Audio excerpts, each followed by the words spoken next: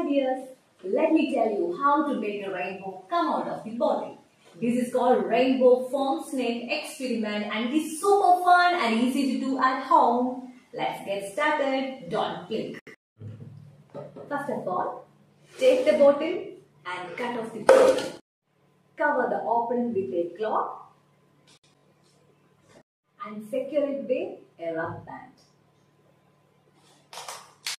Drops of different food colors on the cloth.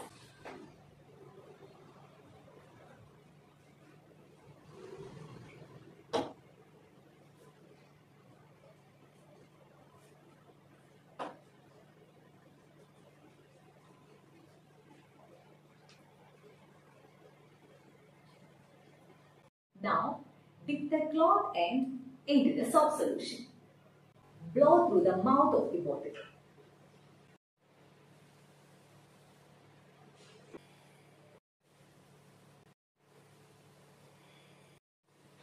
Wow, super!